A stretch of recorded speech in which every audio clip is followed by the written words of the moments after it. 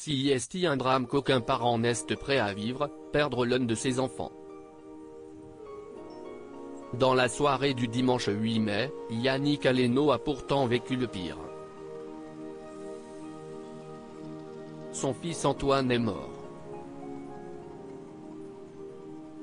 Conducteur d'un scooter, il était arrêté à un feu rouge quand une voiture de luxe, volée quelques instants plus tôt selon les informations délivrées par le Figaro, l'a percuté avant que l'homme au volant ne prenne la fuite.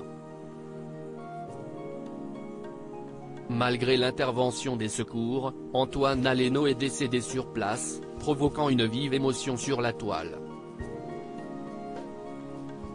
Si est avec une profonde tristesse que le chef Yannick Aleno, sa maman Isabelle, son frère Thomas, sa famille, ainsi que les équipes du groupe Yannick Aleno vous font part du décès de leur fils, frère, collègue et ami, Antoine, victime d'un accident de la route survenu dans la nuit du 8 mai à Paris, lit-on dans un communiqué relayé par les proches.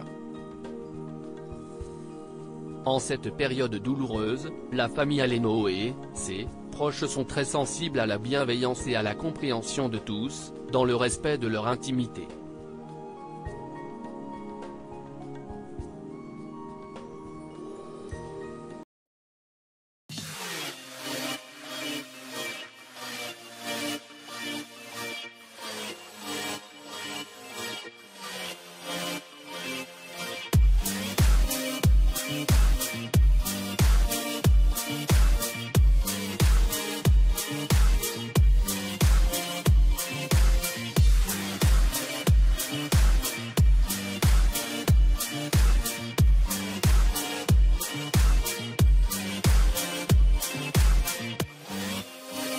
Bye.